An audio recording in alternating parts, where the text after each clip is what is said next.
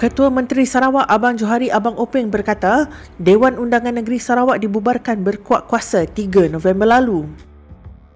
Dalam sidang media hari ini, beliau berkata Speaker Dun akan memaklumkan Suruhanjaya Pilihan Raya mengenai pembubaran itu.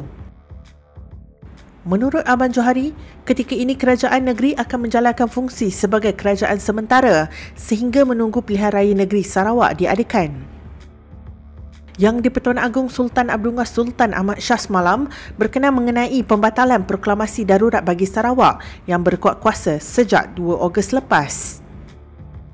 Pemangku Datuk Pengelola Bijaya Diraja Istana Negara, Azwan Effendi Zaira Kinaini, dalam kenyataan semalam memaklumkan perkenaan Seri Paduka terhadap pembatalan proklamasi darurat berkenaan selaras dengan perkara 40 dan 40 dalam kurungan 1A Perlembagaan Persekutuan.